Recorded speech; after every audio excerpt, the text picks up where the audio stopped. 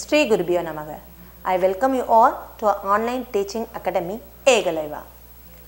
Class 2, subject EVS and topic our green friends.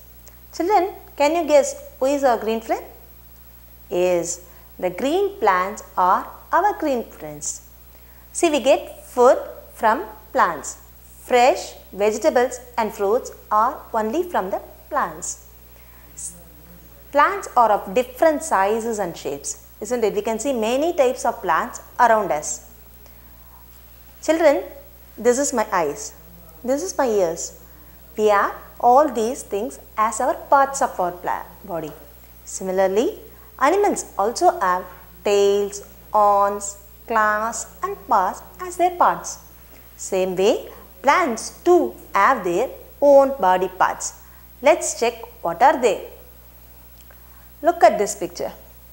When you plant a new seed inside the soil, first part which develops from that is the root.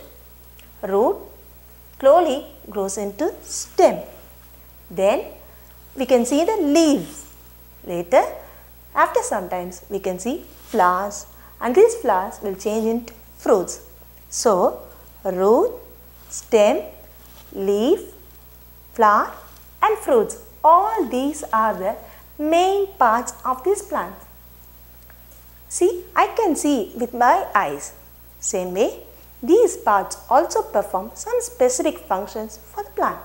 Let's see what are they. First, root. Roots helps the soil to hold tightly in the plant.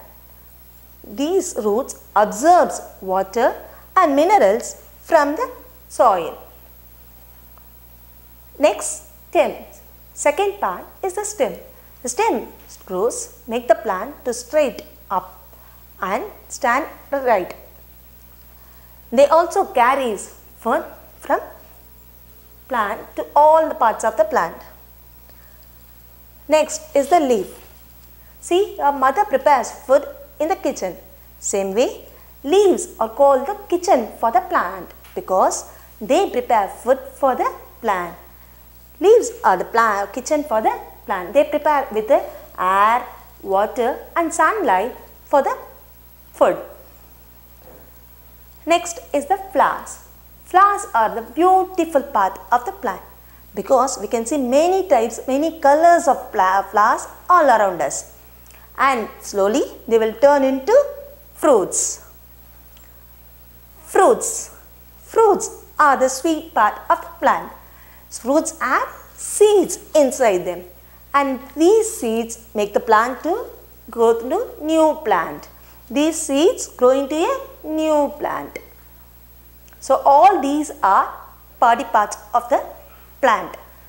Root, stem, leaves, flower, fruits and seeds are the main parts. Let's see types of plants. See, we have seen many types of plants around us, isn't it? Some are big, some are small, some are weak, some are strong. So all these are there. Let's see what about that. First is the trees. You would have seen big trees, isn't it? So they are very huge. They have woody stems, strong woody stems. This is called as trunk. The strong woody stem of the trees are called stem, trunk. And trees are the big plants. So trees are very big and strong plants and they have the wood distance And we'll see the examples for uh, trees. Neem tree, banyan tree and peepal tree are the examples for trees and we can also have apple tree and mango tree as our examples. Next is the shrubs. Look at this picture. This plant is very small, not that much small. It is not tall like trees also. It is small but it is bushy, isn't it? So these plants are called as shrubs. Shrubs are always small woody stems and they are bushy. We will see the examples of shrubs. Rose plants, hibiscus and jasmine flowers. All these are shrubs. See look at them they are near to the ground. Next is the herbs. Herbs are very small plants. They grow close to the ground. Herbs are very small and weak plants. They grow near to the ground. We will see the examples for that.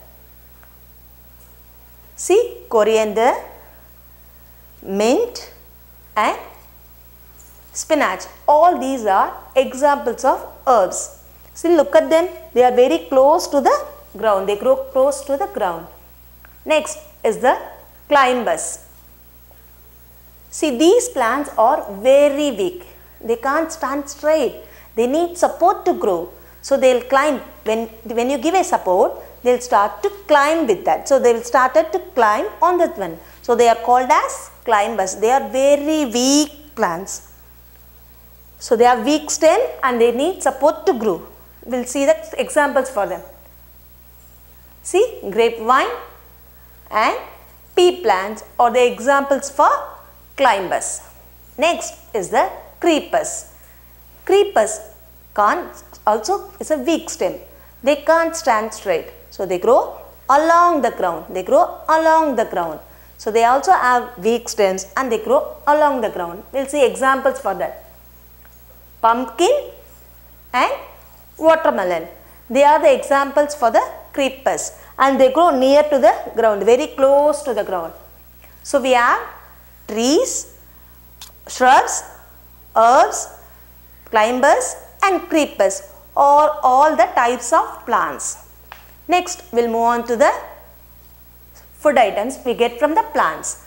Plants are very useful to us. We eat all parts of the plant. See for example, for roots, we eat the roots of carrot and radish. We eat the roots of these these roots from the plants. And we eat the stems of sugar cane and celery. So we eat these stems as a food. And we also eat the cabbage and lettuce as leaves. Then cauliflower and broccoli as flowers. We eat the flowers of cauliflower and broccoli. We also eat the seeds like cereals and pulses as seeds and fruits. Even fruits we eat as banana and apples as fruits. So uh, plants gives us all these food items from the body parts. And we, they also gives us nuts, dry fruits, tea, coffee, sugar and cocoa from the plants. So we get all these things coffee, tea, sugar cane, sorry sugar, uh, all these things from plants. Plants also gives us timber. We get wood to make doors, windows and furnitures for our house. So we get the doors, windows and furnitures to make our house decorative. Plants gives us fibers. So plants gives us fibers for us like cotton fibers and jute fibers. We'll get the cotton fibers also from to make clothes and uh, bed sheets, covers and everything. And jute fibers like ropes, mats and gunny bags are used to make the from the jute fibers. So clothes, bed sheets are from the cotton fibers and ropes and mats from the jute fibers. So all these are from the plants. Next, plants gives us oil. We get many oil from the seeds of these plants from the to get oil like coconut seeds, then mustard seeds and then sunflower. From these seeds we will get the oil and these oils are used for making cooking also at home. Next the medicinal plants. We get some medicinal plants from home itself, home remedies like uh, uh, tulasi and mint. They are near our house and we use them as medicines. See tulasi and mint. Even the quinine and menthol seeds, menthol uh, are also only from the plants or obtained from the plants.